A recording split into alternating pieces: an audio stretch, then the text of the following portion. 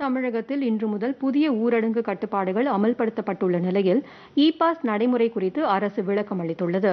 புதிய கட்டுப்பாடுகளின்படி இம்மாதம் பதினேழாம் தேதி முதல் மாவட்டத்திற்குள்ளேயும் மாவட்டங்களுக்கு இடையேயும் செல்பவர்கள் இ பாஸ் வைத்திருப்பது கட்டாயம் என்று அறிவிக்கப்பட்டுள்ளது.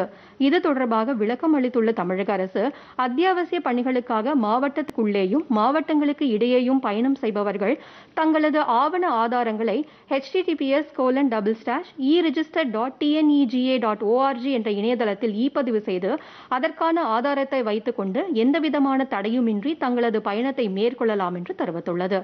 இ பதிவு செய்ய விரும்புபவர்கள் வரும் பதினேழாம் தேதி காலை ஆறு மணி முதல் பதிவு செய்து கொள்ளலாம் என்றும் அறிவிக்கப்பட்டுள்ளது.